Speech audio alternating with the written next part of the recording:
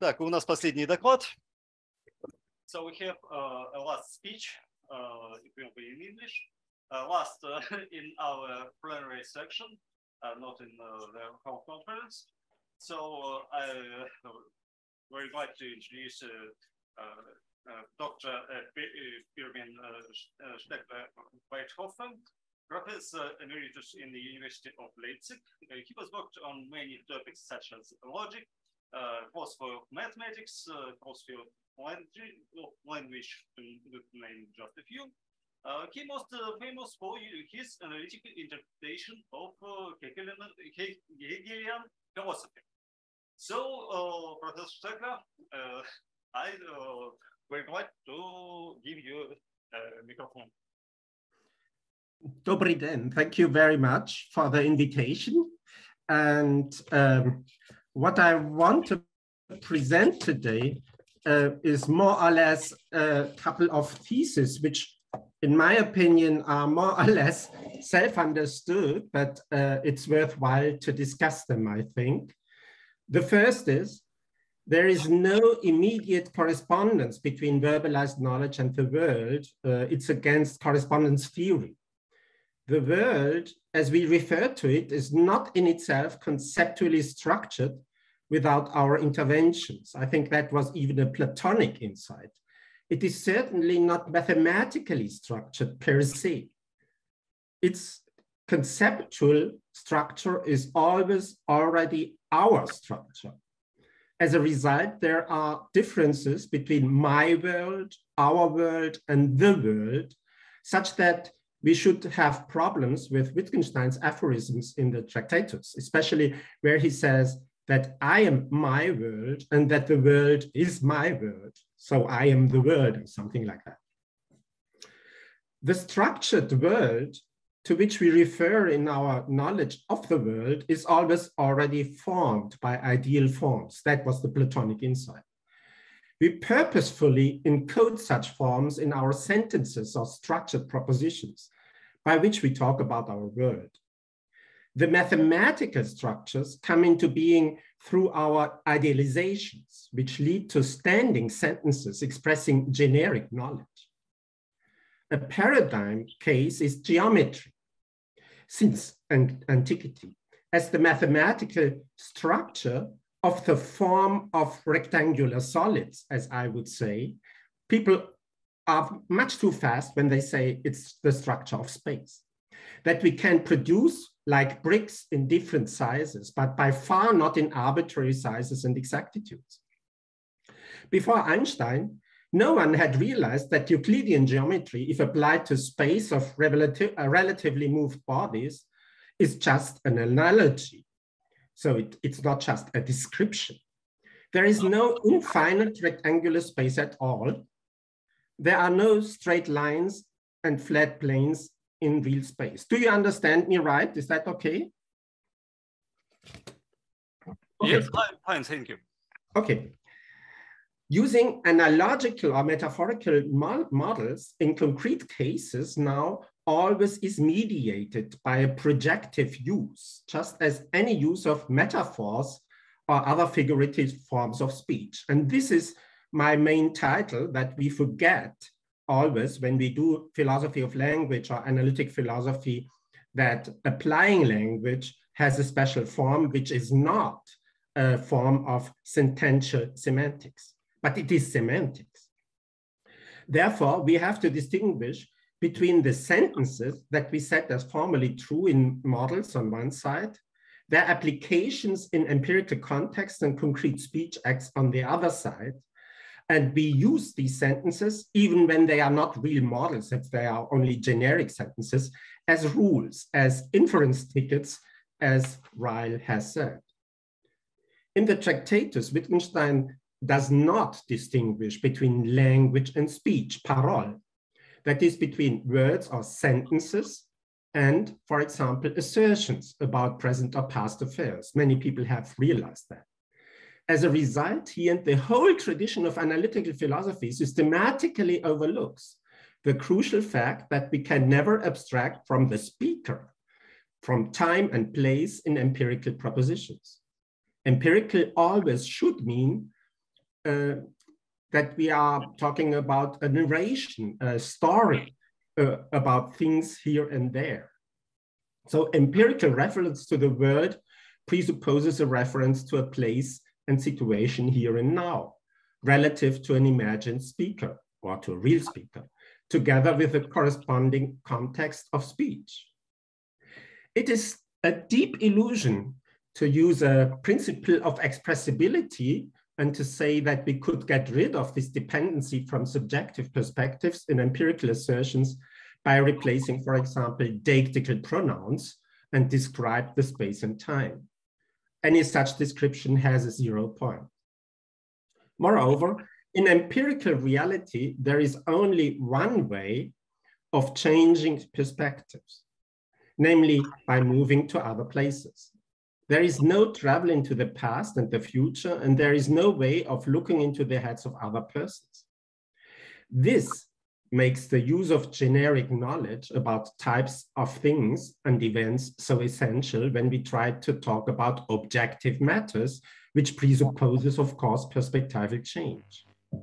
We can jointly refer to them only as instantiations of generic types and place them into a space-time order of other manifestations of things and matters in a sense, Kant came already quite near to this insight, and in my reading, Hegel has developed it. In short, for perspectival changes and object-related reference, we must master the practical semantical forms of projecting generic knowledge about types and things and processes onto our experience. In this way, generic models give structure to the world and make objectivity possible. Without it, there is no objectivity. Not in the sense of looking on the world from a God's perspective, but looking on the world from our perspective. This is the reason why children acquire generic knowledge in the first phase of learning and in the first uh, language encoded, uh, and only later they can talk about singular items uh, precisely that they are singular. Uh, by the way, animals cannot refer to singular items almost at all. These are very deep general truths. They show how metaphorical the thesis of an isomorphism between the world and the linguistic representation of the world is, as we find it illustrated in Wittgenstein's sketches of gnomic oracles in the nevertheless deservedly famous Tractatus. However, there is a whole manifold of structures hidden in the very notion of sentences as Wittgenstein uses the word, just as in the parallel concept of Konstatierung, that is empirical assertion, by Moritz Schlick or Wilfrid Sellars. Careless thinkers are regularly seduced into the thesis of a plurality of words, worlds, or even of an incommensurability of word pictures. But the unity of the world as real reality is not determined by the uniformity of a single world model. The later Wittgenstein approaches this insight by recognizing the purpose dependence of our always merely local models of the world. There is not one theory of the world, not one true world view. Rather, we work with local structures that can be complementary to each other, precisely in the way as Niels Bohr recognizes, or at least suspects as the basic form of the various forms of physical word modeling. It is, however, uh, not easy to cope with this locality of our representation and explanations of the world. The same holds for the dependency of empirical assertions on a priori generic knowledge and a priori generic knowledge and on a concrete set of relevant aspects. Wittgenstein's idea of purely empirical sentences in the Tractatus that do not presuppose generic knowledge at, at all, expressed in sentences that are learned as conceptually true, is therefore, in my opinion, utterly unrealistic. As a result, logical atomism and empiricism cannot account at all for dispositions as default inferences that are responsible for the very fact that virtually any empirical utterance, any Konstatierung is fallible due to the lack of control here and now about the fulfillment of the normally, generically, conceptually expected and therefore predicted consequences. All interesting properties of things and matters are dispositional, and uh, we have access to, disposi to dispositions only by language and uh, only by uh, linguistic inferences. There are no purely empirical state descriptions. That is the result of this first part. And I think this was already an insight of Hegel's semantic holism in the phenomenology, in the famous uh, chapter three and four. Second, there are no sufficient cause for all events in the world. There is another myth in some parts of analytical philosophy. Uh, John Mackie writes about the cement of the universe.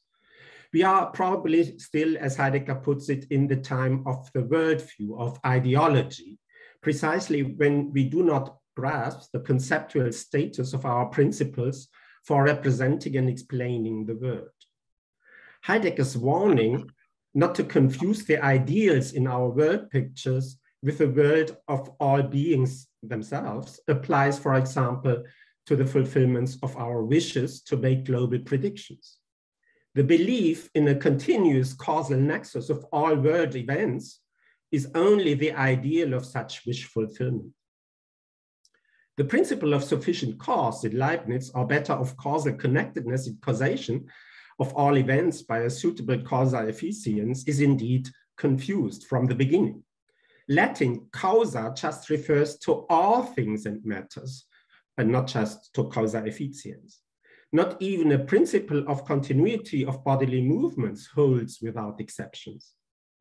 And Hegel's insight is still underestimated that is, it is part of our scheme that we try to represent the whole system of moved bodies as good as possible by a good distribution of the forces responsible for the changes to the material bodies in a holistic way. So we have things and then uh, the task is to put the forces into the things and build up their movements and changes as if they were the result of the um, things. Newton's system was and is a great success because it could use effectively the mass of the bodies as the differential condition for inferential consequences in the system of mechanical interactions, Wechselwirkung. However, we should never overestimate the scope of this approach, and it is limited. I think we have to read again what Schelling and Hegel, Ritter and Oersted saw in Jena, namely that electromagnetic forces are of a different type. They all have urged a new understanding of physics that surpasses by far Newtonian mechanics. And uh, it, it's not well known that they were very good in uh, this um, uh, analysis. The principle of continuity, for example, is vaguely expressed by the thesis that nature doesn't make leaps. However, it is only metaphorically transferred from the domain of medium-sized bodies to a completely different realm of experience and speech when we apply it to subatomic articles and thus to electrodynamic and quantum mechanical phenomena. Nevertheless, some still talk as if these particles behaved in the same way as normal solids on the one hand the mass point, points of the 18th century uh, mathematical mechanics on the other. Instead, all particles are theoretical objects of speech. The transfer of normal properties of solids to these particles is not trivial at all. Otherwise, one would not be so surprised that the behavior of these so-called particles obviously differs substantially from the behavior of solids. These differences are known to be so essential that some again resort to a principle of direct action at a distance, actio in distans, and other even talk about uh, backward causation. I do not want to go into details about this, I just want to mention. But there are no space-time uh, points in the world at all, and precision is always limited. When we think that some real explanations, for example, in solid state dynamics are quite exact, we are only saying that they come sufficiently close to our ideal wishes. Our causal predictions of real movements of bodies are indeed highly precise in some respects. Yet, each of these approximations to an exact ideal is always of the structure of a Platonic metaxis. This, is in this in turn means that we use rather coarse scales or margin of precision, at least in comparison to the ideal.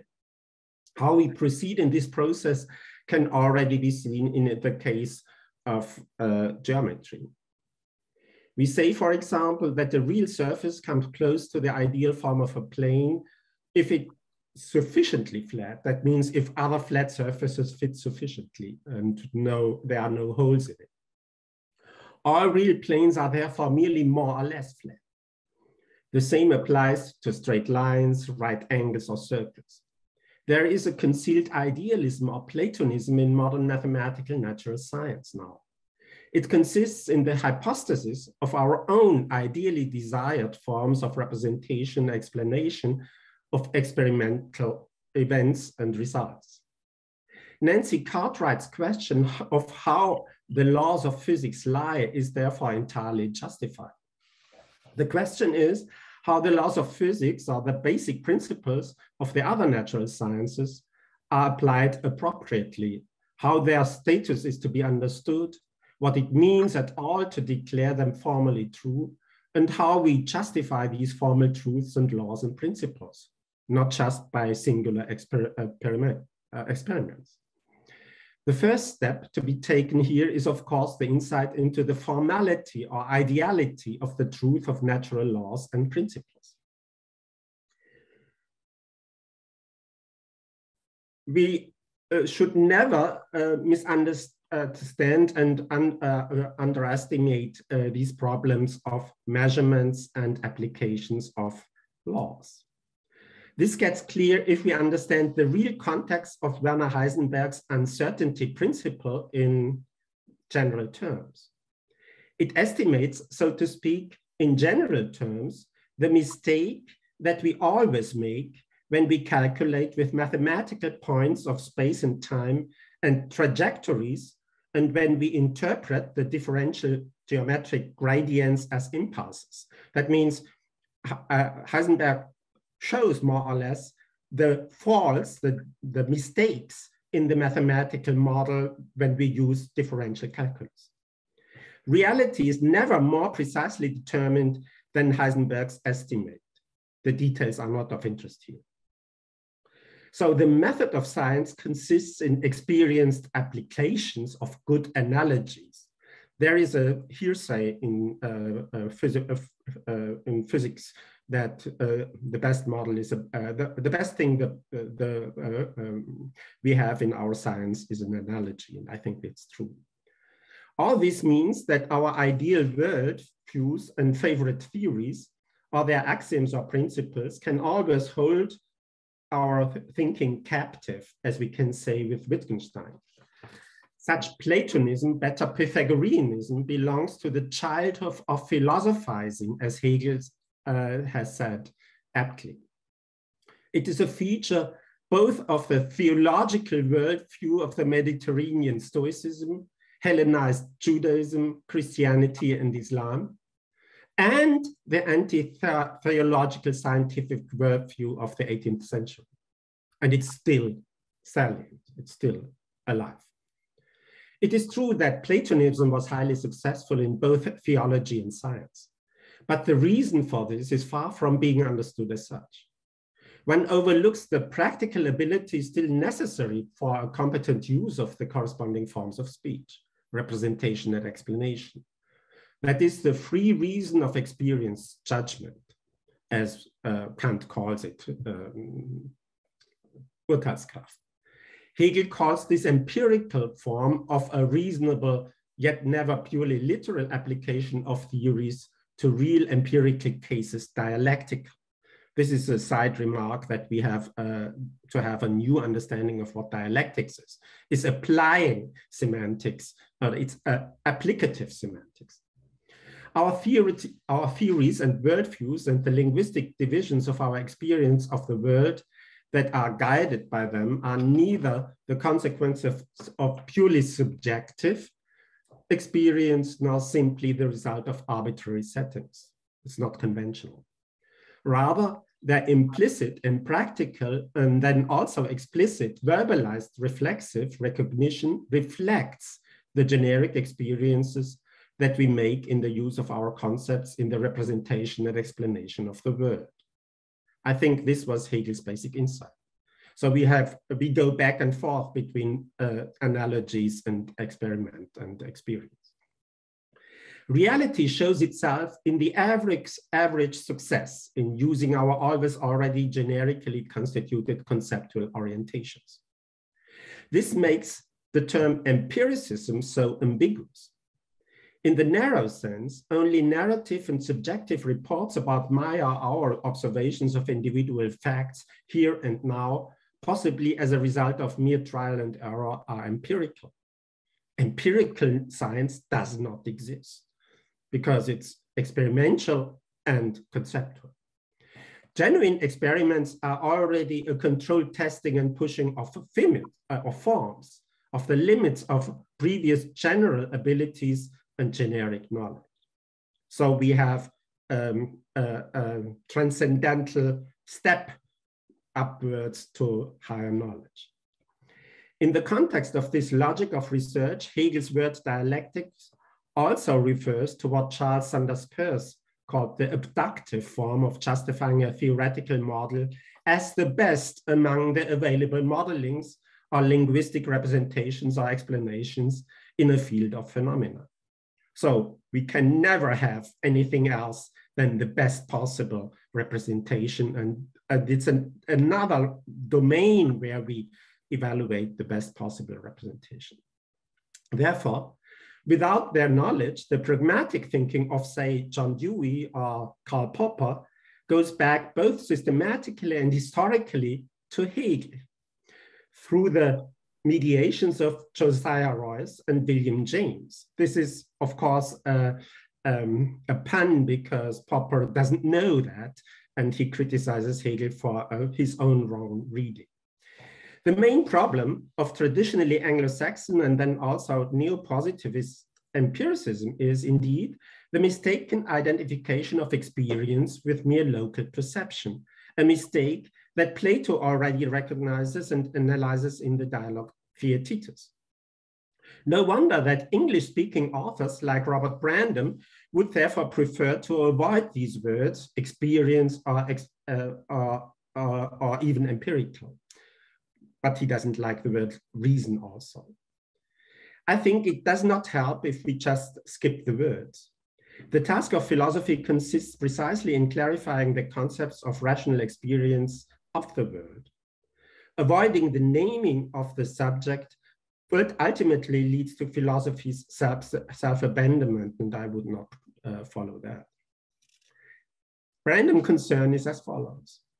The empiricist notion of immediate experience is misleading. Experience is always already conceptually formed.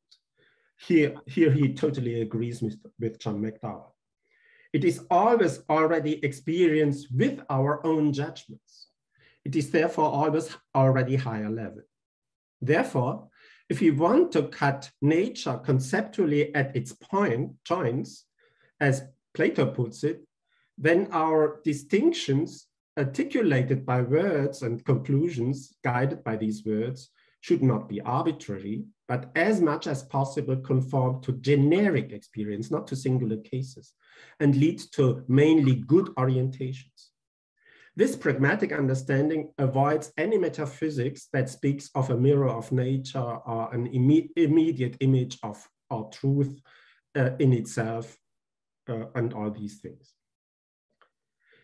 Conceptual knowledge contains prejudgments. Conceptual norms of differentiation and differentially conditioned inferences hang together with general a priori knowledge. I think that is what, what Brandom and, and John McDowell uh, clearly saw. For many propositions to have any meaning at all, and thus to be uh, false or true at all, many other propositions must already be true. The search for elementary propositions beyond these gradations are illusionary. Heidegger and Gadamer were right to say that all empirical human cognition rests on prejudgments, in a sense, even in a similar way as animal cognitions are, uh, rest on preformed instincts because these generic truths are, as inference tickets are automa automatized, second nature.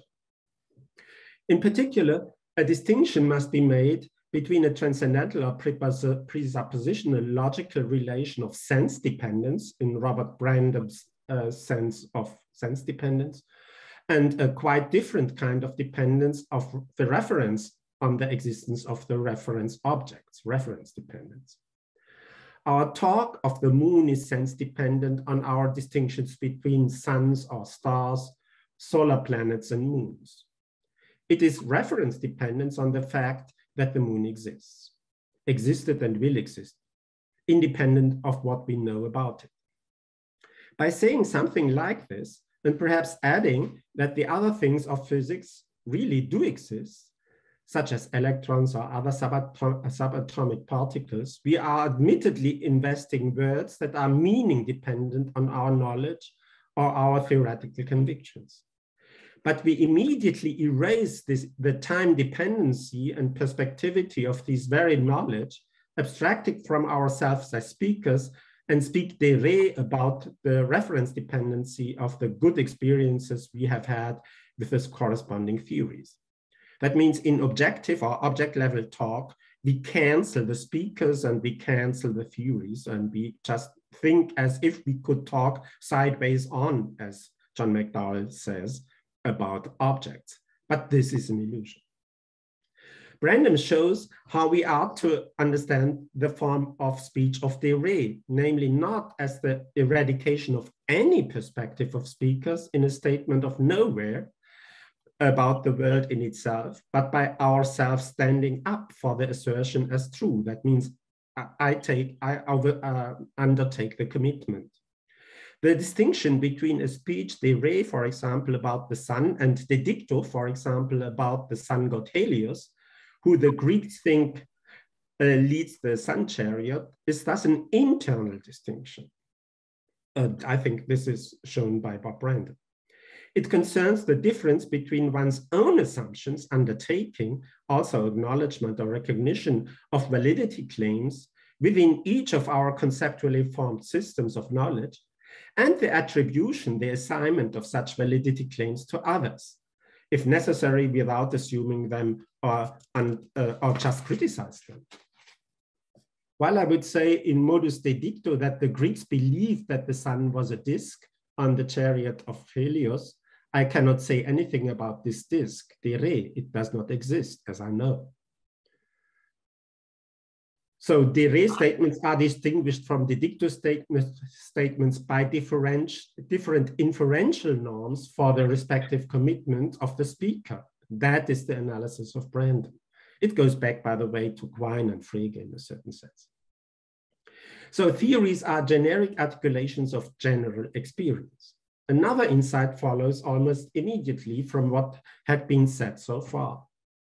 There is no classification of things or qualities without corresponding inferential commitments and entitlements. That means permissions to infer and obligation to justify their inferences. Already the early Wittgenstein remarks that we cannot be interested in mere classificatory, uh, classificatory statements without further inferences. Nevertheless, he did not see how inferential content enters state descriptions. He thought because there is a, a harmony between uh, uh, classificatory or truth value in uh, arithmetic and uh, inference rules, that this can hold for state descriptions also. But this is wrong. Uh, and uh, he therefore just overlooked all genericity and all conceptual preconditions for empirical statement. And since this is so, we now can understand why only in good cases we need no retractions because all empirical statements are fallible just because the generic predictions go far beyond what we can control here and now. And therefore, only in the good cases, um, uh, um, we are uh, safe that we do not have to say, well, uh, I thought there is, and I was sure that there was milk in the fridge, but there is no milk in the fridge because it was poisonous uh, uh, and so on. Uh, and that shows why an empirical statement like there is milk in the fridge cannot be decided just by observation statements. And since this holds for such easy statements because of their inferential impact, um, the idea that we have a direct basis for knowledge just in, in these empirical Konstatierungen in the early analytic philosophy, of course, was wrong. Uh, I just finished with some remarks on formal logic. Perhaps we can see now uh, a little bit clearly uh, more clearly how generic knowledge essentially co-determines the semantics and thus always also inferential contact and empirical statements in the form of a system of default conclusions and normal expectations. And in applications, we have to take care of that. So there are always privations and, and accidents possible. As material knowledge, it goes far beyond purely formal inferences, especially beyond mere definitional and terminological language rules, as for example, in the standard use of the logical words not and and for all defining the rules of Frege's predicate calculus. This logic holds, unfortunately, only without exceptions in pure arithmetics, that means in higher set theory, and uh, to assume that it holds directly for things in the world is just mistaken. And uh, therefore, um, formal logic is not at all the logic of language. It's the logic of the notation of arithmetics.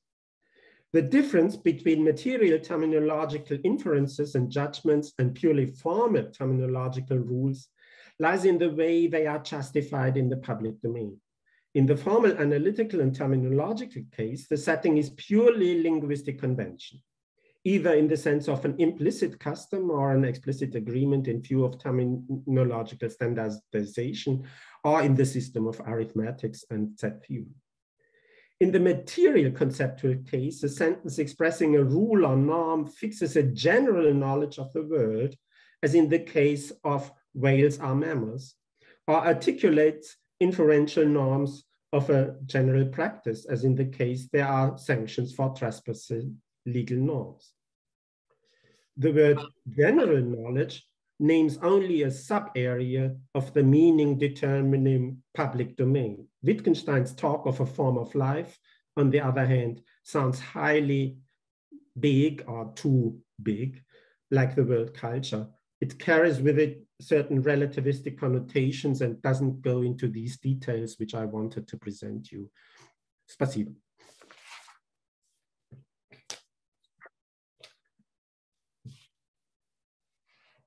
Uh, thank you, Professor uh, Professor uh, Stekeler.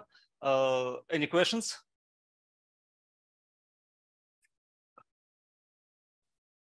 Is there any questions in the auditorium? Oh, uh, thank you. Uh, Evgeny Vasilievich Borisov, uh, professor of uh, Tomsk State University, professor of uh, Russian uh, Science um, Society. Um, Hello. thank you very much for your presentation. and my question is as follows. you, you, you presented very clearly and convincingly the uh, thesis that uh, there is no elementary knowledge and no elementary truth uh, in, in the real life, so to speak. but on the other hand, in logic, in every logical system, I mean, formal logical system, we always have first um, in syntactic aspect, we always uh, have uh, elementary or atomic sentences or atomic formulae. And uh, on the other hand, uh, in the semantic aspect, we always uh, do have elementary truths uh, that are determined by, by, by, the interpretation of predicates and so on. And uh, so um, my question is, uh, do you have in mind any, um, any um, satisfactory formal representation uh, of uh, knowledge without elementary truth, uh, knowledge that experience that always involves some inferential content and so on. Yeah. Um, there are there are um, uh, people who are doing uh, computer science uh, and they develop default logics where they have classi classified the empirical level uh, empirical level, uh, uh, um, which are these statements which have reference to datical things, and generic sentences, which are rules, and they call them defaults. Uh, for example, um, uh, birds fly is a default, and then you need exceptions. And, uh, and um, these default rules are used in, in the meantime uh, in these computer uh, language processing uh, uh, uh concepts. But of course, this presupposes exactly what I want to say. We have to split up the notion of sentences here, uh, looking at assertions, looking at sentences which are empirical and looking at sentences which belong to a canonized default set of differential inferences. And if we do that, then we can develop that. Uh, but the logic doesn't look so nice anymore. And, uh, um, and it gets more complicated. Uh, but um, uh, Bob Brandom is trying to work on that. Um, uh, he's talking about non-monotonic logic because the non-monotonicity comes from the fact that if, if a default is um, uh, denied. For example, if I know that the cat uh, has only has, has had an accident, then the default that cats have four legs might not hold. And therefore, if I know more, then I can uh, conclude less. And that means, of course, that the logic is not monotonic anymore. But this is a totally different system of logic uh, uh, when we are um, uh, used to when we look at the logic of these mathematicized systems uh, with the elementary statement fixed. Um, they are even fixed when we when we look at the uh, variations of models. And in the end, my claim that uh, Frege's logic holds only for arithmetic holds even by the proofs of Gödel because um, uh, the models are just set theoretic models and that theory is higher arithmetic. And, and therefore we never leave the realm of mathematics when we do logic in this way. And therefore uh, my claim is when we want to do a philosophy of language and, and when we want to do real uh, language processing, we have to uh, leave these ideas a little bit behind at least. Okay, thank you. Uh, so any any other questions? Colleagues?